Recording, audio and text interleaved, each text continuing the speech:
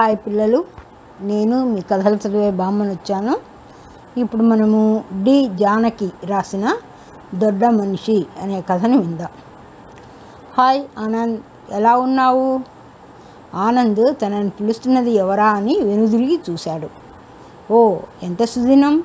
అరవింద్ నువ్వా? కుశలమేనా? అంటూ స్నేహితుణ్ణి ఆప్యాయంగా పలకరించాడు ఆనంద్. తామున్నది గుడిలో అని మర్చిపోయి మిత్రులు ఇద్దరూ కౌగిలించుకున్నారు. వీళ్ళిద్దరూ పదవ తరగతి వరకు ఒకే పాఠశాలలో చదివారు.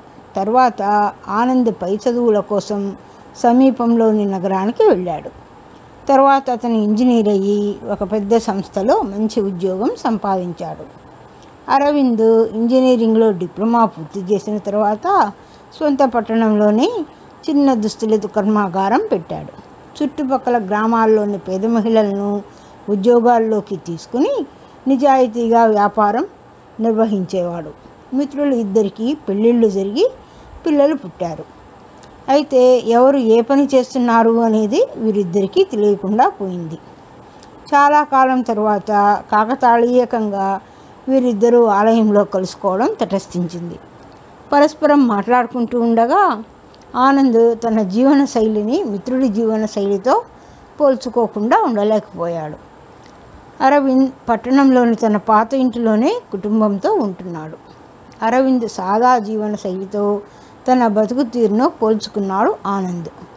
విలాసవంతమైన నివాస భవనం కారు కులీనురాలైన భార్య కాన్వెంట్కి పోతున్న కుమారుడు పోల్చుకోవడానికి కూడా వీల్లేనంత సంపన్న జీవితం తనది. తర్వాత అరవింద్ మిత్రుడిని తన దుస్తుల కర్మాగారానికి తీసుకొని వెళ్ళాడు.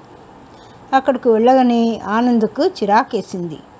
పాత యంత్రాలు నిరాక్షరు నిరక్షరాస్యులైన కార్మికులు ఇరుగ్గా ఉన్న కర్మాగారం దీన్ని చూడడానిక తను వచ్చింది అనుకుంటూ ఆనంద్ తన కర్మాగారంలోని కొత్త యంత్రాలను నూతన సాంకేతిక శక్తిని సరిపోల్చుకున్నాడు.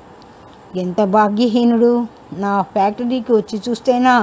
అనుకుంటూ తనలో కలిగిన ఏహ్యభావాన్ని ఆనంద్ దాచుకోలేకపోయాడు. మిత్రుని మనసులో చెలరేగుతున్న భావాలను అరవింద్ పసిగట్టాడు. ఆనంద్ అధునాతన కర్మాగారంలో పనిచేస్తున్న నీతో పోలిస్తే నేను నడుపుతున్న ఈ షెడ్డును కర్మాగారంగా పిలవలేను.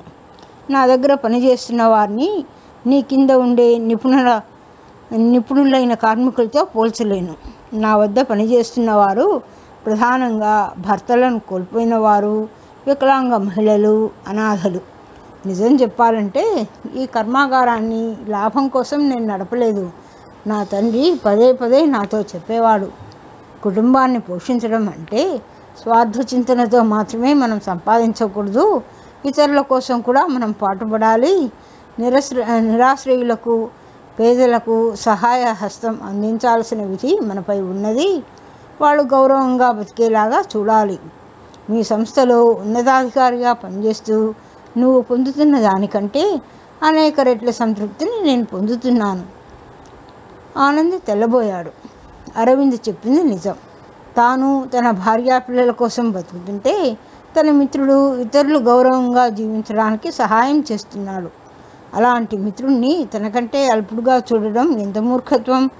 ఆనంద్ తలదించి గొనుక్కున్నాడు నిజంగానే దొడ్డ మనిషి.